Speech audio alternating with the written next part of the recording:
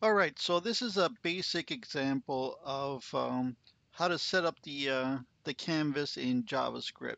I will be doing the same thing but using Pas2JS. Um, so if we look over here, I have a much longer version of this program, uh, but it essentially does the same thing. I'll go over each part, but let me show you um, both files that we need. So we have the uh, Pascal file, and we also have a little HTML slash JavaScript code. Um, if we look here, there's not much defined here except the uh, the test.js. This is going to be what's created once we compile uh, this, the test.pas file. And uh, this is just basically a small starter uh, to get your application going. And it has minimal amount of code. The only code that I have added here that's not from the default template is this line here. And it basically is a div with the ID game board and inside uh, the canvas um, declaration to create a canvas that's 200 pixels wide and 200 pixels uh, tall and we give it the ID of canvas underscore one. And in terms of JavaScript code, we only have one line, and that's basically to run the runtime, uh, which will be this file. So I'm going to go ahead and just compile it so you can see what happens. So I'll be using the uh, command line. Sorry, wrong window. Uh, here we go. All right. So uh, let's do a little directory. There's already a file there. I'm going to delete it.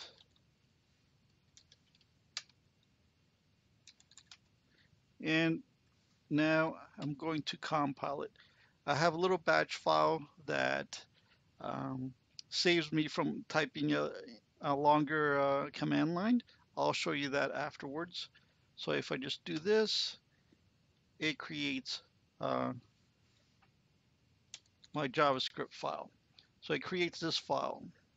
And if you notice it, it looks kind of big, but that's fine. Um, let's uh, let's jump into a browser now and we'll run it. And uh, if you look carefully, it's, it's the same folder as I've, I've been showing you. So what we're going to do is we're going to click on the test HTML file. That'll launch everything. And here we go, except in our little example, we also have the uh, hello world um, text. But if we go back to our code, we can see how all this works. So we have to declare a couple of variables. One is the uh, canvas element, and the other is the context variable. And we don't have to do this in JavaScript, but um, in Pascal we have to. This is so the compiler knows what it's dealing with. And uh, where things start looking similar is around this line here. These two lines are basically the same thing in JavaScript. So if we jump, uh, if we jump back, and take a look at the code here. Again, the uh, Pascal version is a little longer, but it's essentially the same thing. Uh, the uh, document dot get element by ID and the canvas get context. We do a little bit more typecasting um, right here and right here, but essentially it's the same thing. Uh, we could also modify, I've, I've put in this, this is extra. Uh, we could also modify the, uh, the canvas attributes. So we started off with 200 by 200, but we can change the, uh, the canvas. Let's go ahead and uh, also do the, the height to 300. Save it and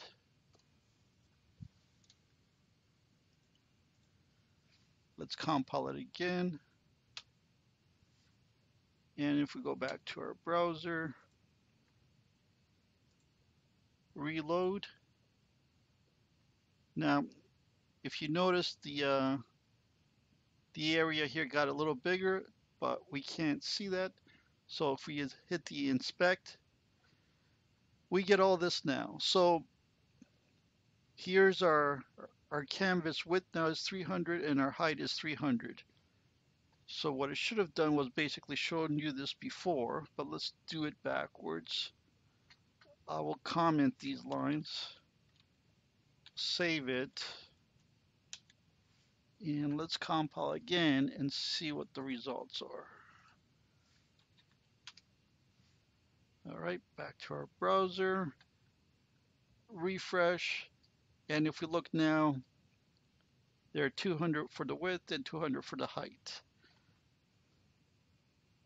All right, so that's that's one nice thing you can do in Pascal that makes it more readable. You can access the uh, the element attributes uh, directly. We're using real types here. And uh, the rest is additional uh, canvas commands. So in this, uh, we're setting the uh, the fill style to green. That's the color for any filled shapes and um, here we're, we're setting a font, we're setting the color for the font red, and we're setting the text, say hello world. We can change this to say hello Nick, save it, and again, if we compile back to our browser, refresh, hello Nick. Now it doesn't show the full thing because our canvas is only 200. Let's uh, let's modify that, but this time let's modify it in the HTML file. So, I, so you're free to make changes in both files. I like to try and keep this area to a minimal and do all my uh, settings in the in the code, but that's a preference thing and you can do whatever you like.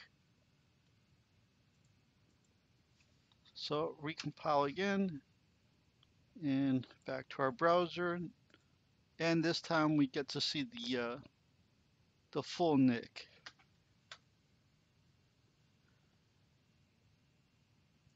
All right. So um, I've put a link here to the uh, developer uh, instructions or documentation. Uh, you can see additional commands here and how to use them. Uh, they're basically, you can, whatever you find in JavaScript, you should be able to cut and paste and with a little modification, uh, like the assignment, usually in JavaScript, the equal sign is the assignment. You just have to add a little colon there and make it the assignment in Pascal but everything else, string variables work the same way, so you shouldn't have to change very much. So all the uh, additional commands that are available, uh, you can use those. I don't need to go e over each one. So let's say, um, let's see if we, of course it's not going to work. Uh,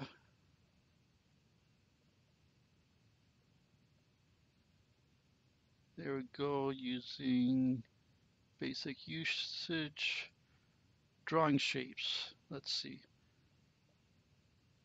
All right, so there's additional commands. Feel free to try all these. So all we have to do is just, uh, let's see if we can create a, a triangle or a diamond like they have here. Go back to our code. I just simply cut and paste.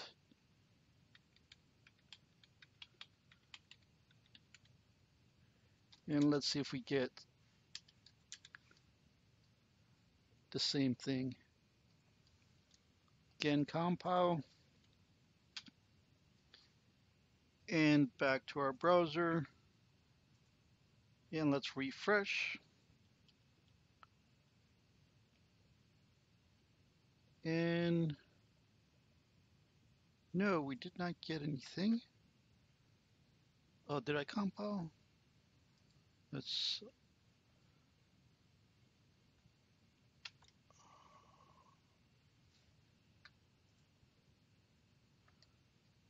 Well, okay. Let's see. Maybe we can comment this stuff out.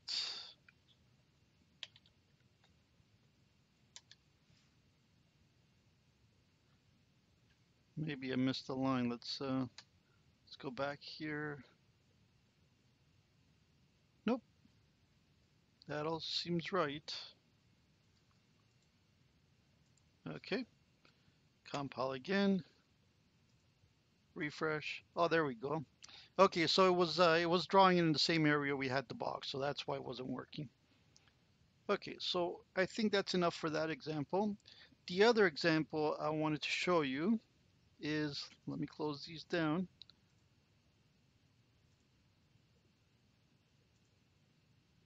Is this one, and uh, let's load up both files again. All right, so in the previous example, I created the canvas in the HTML file. This time, I'm only uh, creating a div with the ID game board. And uh, remember this, it'll, it'll make more sense when I'm explaining here what we do. So again, all similar code, except this time I have another variable and we're calling div element here. And uh, we're creating the canvas dynamically here. So we're using this command, uh, document create element, we're specifying it's a canvas and we're giving it a canvas ID of a canvas underscore two. And uh, let's just change the height to 400 by 400. And what we're doing here is getting the div element. And remember I said the ID is called game board. So once we have the uh, div element, we append the canvas. And what this should do is insert the uh, canvas right inside here. So this, this is going to happen dynamically at runtime. It's, it'll insert it right in here. Besides that, everything else should work uh, just like normal. And we can, again, get the context and used these drawing commands. So let's compile this. I will need to switch to this folder now. Let's delete the previous code. I'm only deleting the JavaScript and recompiling it. It compiled all right, so this time we go back to our browser, but we have to go back to the parent directory and go into dynamic canvas and run the test program there. And this time we get the hello world in blue with the uh, red rectangle. And uh,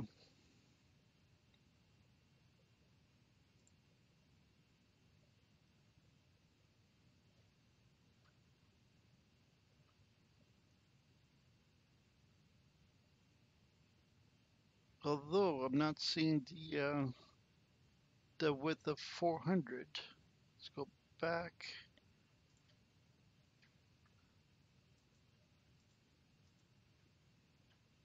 Interesting.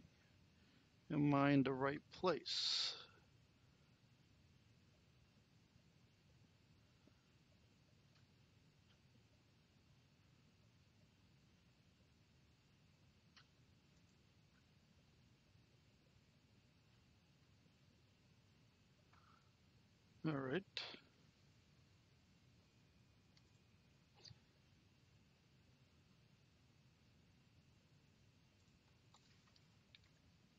Let's try 200.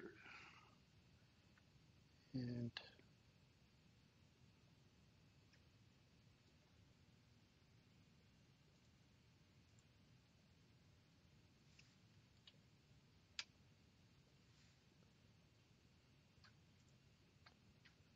refresh this. That's strange. So 200 works. Maybe it's some kind of strange caching problem. Let's go back, change it to 400.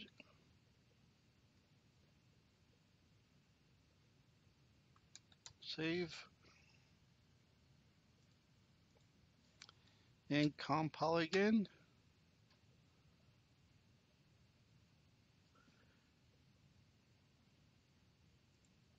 And refresh. Yep, this time it worked for some reason, which is strange. I don't know why it was giving us uh, the 300 value, but it works now. All right, so the other thing I wanted to mention here is if we didn't want to use a div um, to insert the uh, the canvas, we could also insert it uh, with the uh, document dot body dot append child command as well. So what I'll do is I'll comment this and uh, we don't even need to use this here. And let me save that. But before I compile again, let's go back here and see where the canvas is. And if we look here, it's right under, right inside the uh, game board div. And uh, if we compile it now,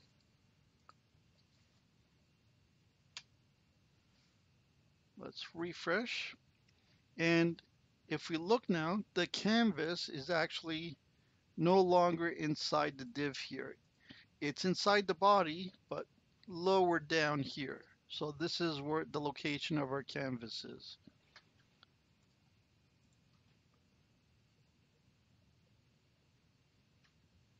And I think this is as much as I want to show you in this video.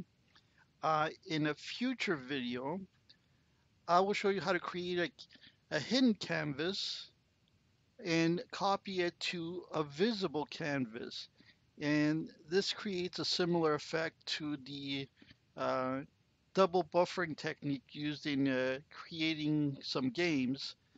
And uh, I think it's a good way to learn uh, how to use the canvas by trying to do some simple games. And I think that's uh, one way I'll approach this in future videos, try to create a simple game in the in the canvas or a simple demo to show you moving around shape just to demonstrate how it works. Anyway, that's it for this video. Uh, thanks for watching.